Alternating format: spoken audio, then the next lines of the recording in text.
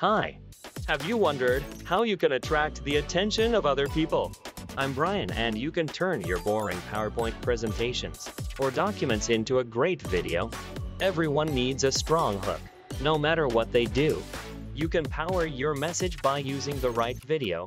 Besides, you can even change my outfits with just one click. I have several emotional features that allow you to get angry, happy, and sad.